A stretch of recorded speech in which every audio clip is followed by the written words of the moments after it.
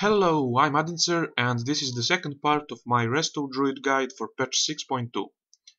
I covered a lot about our most important talents in the previous video, so let's go through that uh, quickly.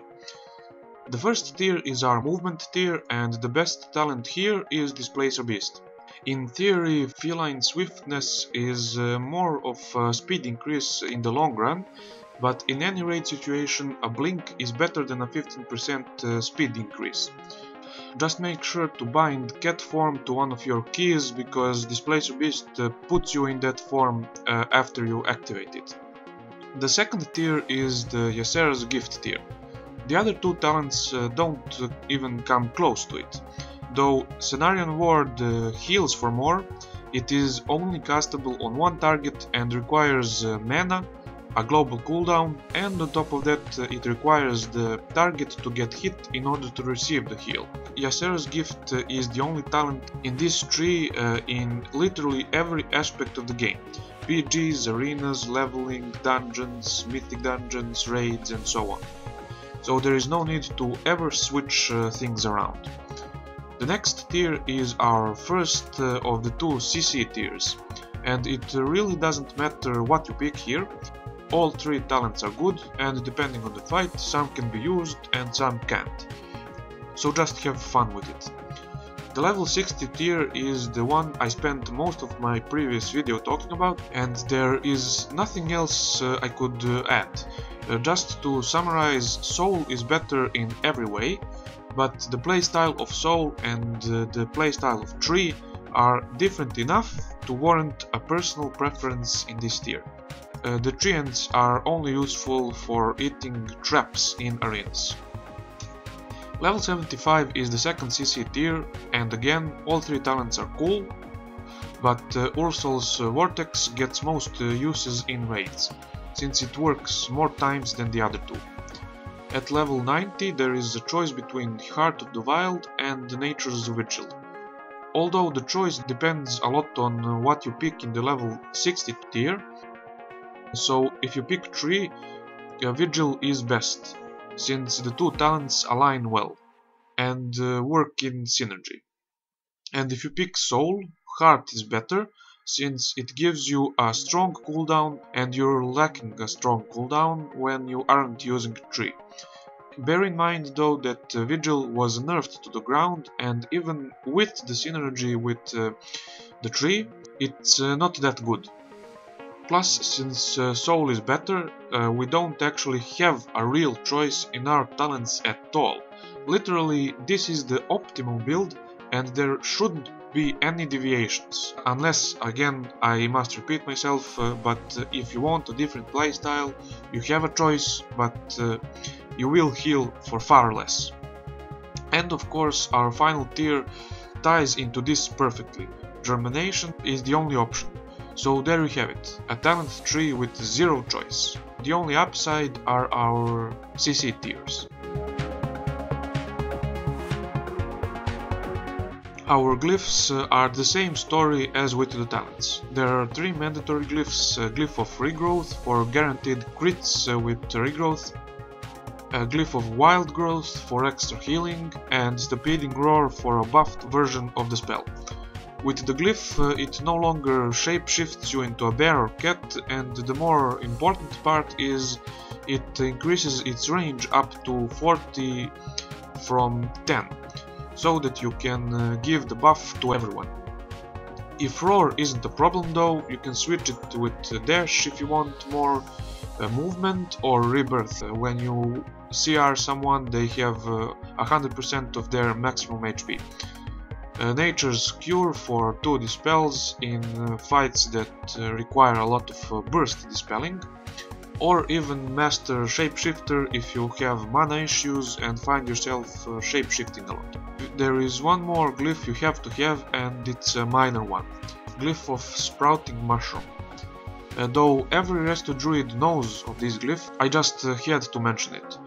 It allows you to place your mushroom wherever you want instead of uh, targeting a player and placing it beneath you. Sad to say, but that's it for the glyphs.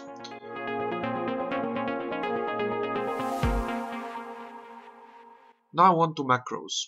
Well, we don't have that many skills anymore.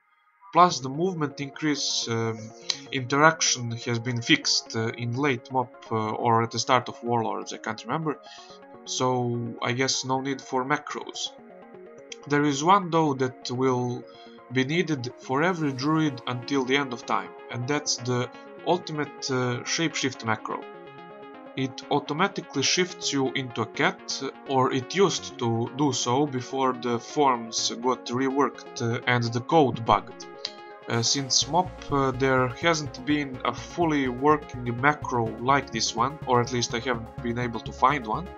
Uh, luckily the other component of the macro still works.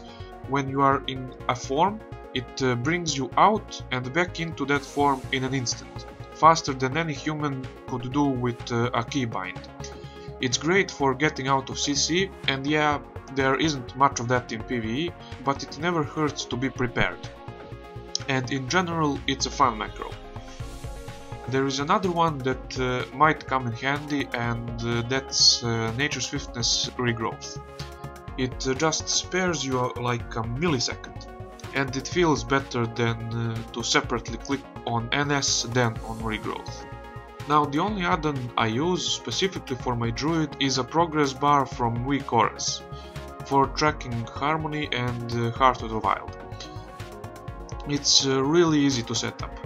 I just didn't have anywhere else so I put it to the side and uh, made it vertical. The other add-ons I use are the same as with any class. Move editing for my UI customization, quartz for casting bars, tidy plates for unit frames, though they haven't been working for a couple of weeks now, and that's uh, for everyone, not just me. Hope they fix it soon. Until then, I'm using the default Blizzard ones. Then I use Omni CC for cooldowns and Weak Auras uh, I already mentioned, uh, finally DBM for raiding. In terms of uh, stat priority, it goes like this. Haste, Mastery, Multi-Strike, Crit, Versatility. As for Spirit, uh, it's not uh, worth taking. The only time I did end up needing Spirit was when I had zero of it to begin with. I had full PvP gear when I started playing my druid and absolutely no spirit. So it was uh, hard to heal in raid and even then I managed uh, somehow to not go OOM in most fights. So that only goes to show what uh, minor role mana plays uh, in the current tier. Anyway, the set bonuses are really good this tier. Though they don't uh, change your gameplay in any way, they are strong passives, uh, and they focus on your Lifebloom. Uh, with uh, the trinket uh, from Archimonde uh, combined with those set bonuses, you will work wonders, if the raid is stacked. However, if it's not, the Archimonde trinket isn't good, and there aren't many fights that the raid is stacked like that. So then the two trinkets you should be going for are the ones from Socrethar and Xul. As for the enchants and uh, gems, haste is the go-to stat uh, of course, since it's your main stat, and uh, spirit uh, for your weapon as with all healers. So, that was a very short video and uh, the reason for that is there simply isn't much to talk about. The talents and glyphs are set in stone, the macros are no longer needed, and the druids used to be the most macro dependent class of all. Uh, really, I could have combined uh, the two videos and made it like a complete guide of uh, like 30 minutes. And I think I'll do that uh, if the Mistweaver and Shaman turn out to be similar. Anyway, thanks for watching and see you next time.